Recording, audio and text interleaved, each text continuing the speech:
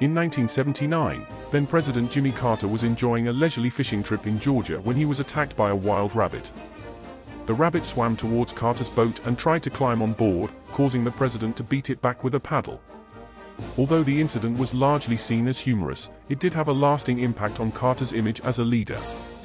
Some critics saw the incident as a symbol of Carter's weakness and ineffectiveness as president. However, Carter himself was able to see the funny side of the incident.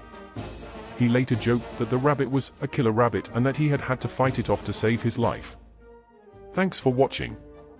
Don't forget to like and subscribe for more fascinating insights into history.